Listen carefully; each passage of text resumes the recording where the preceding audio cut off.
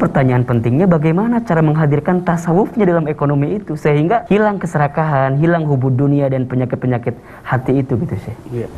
Jadi dalam ilmu tasawuf itu bagaimana hati ini digiring mengarah kepada yang satu dia adalah Allah Subhanahu wa taala.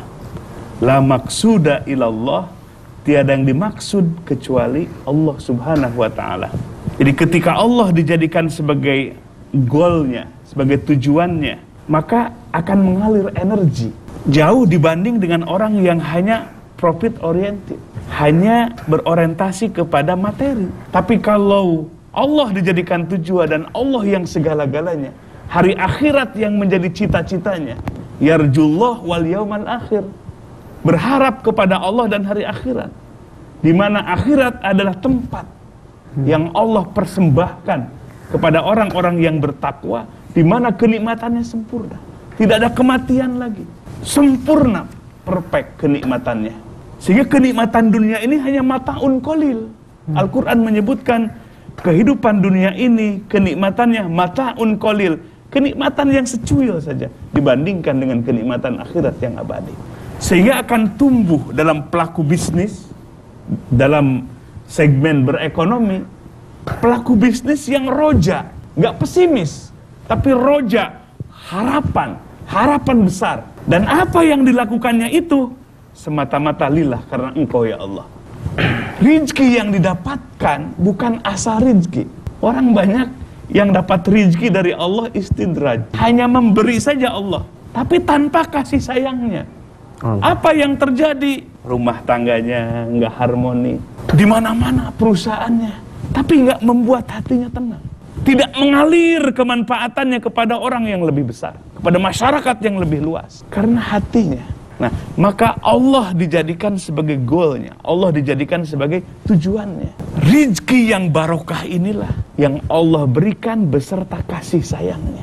Yang membuat tenang batin kita. Hilang gundah gulana. Hilang kegelisahan. Dan yang lebih terpenting adalah Allah buktikan. Hartanya bermanfaat. Ni'ma al-mal as-solih.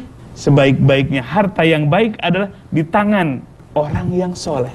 Sebab akan bermanfaat besar dengan harta yang Allah titipkan, dengan harta yang Allah berikan kepada kepada kita. Nah, maka dengan rizki yang barokah itulah membuat terasa betapa Allah Subhanahu wa taala sebagai Ar-Razzaq, zat yang memberikan rizki, bukan perusahaan, bukan orang lain, tapi hakikatnya yang memberikan rizki adalah Allah Subhanahu wa taala. Nah, ini tasawuf hadir di dalam sektor ekonomi. ekonomi. Sehingga tasawuf ini sebab ruh bagi setiap disiplin ilmu. Ruh dalam seluruh aspek dan dinamika kehidupan.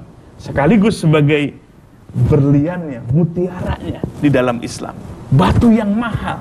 Dan manusia diukur pada gilirannya adalah hatinya. Dan inilah yang akan pulang kita kepada Allah Subhanahu wa taala membawa hati yauma la yanfa'u malu wala banun illa man atallaha biqalbin salim.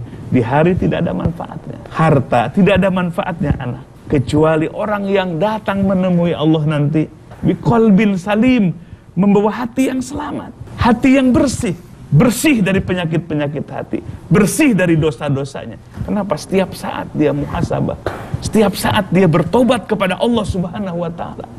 Sehingga semakin baik Allah berikan kesempatan dia tata kehidupan itu untuk beramal soleh yang ikhlas sehingga semakin hari semakin baik hmm. mempersiapkan diri untuk pulang kepada Allah hmm. jadi takut mati itu adalah tidak boleh tetapi kita harus mempersiapkan kematian sebelum kematian itu tiba hmm. al istidadul lil maut qabla nuzuliha mempersiapkan kematian sebelum kematian itu menghampiri kita. Hmm. Jadi kita di sisa-sisa umur kita ini kita susul ketertinggalan kita di masa lalu.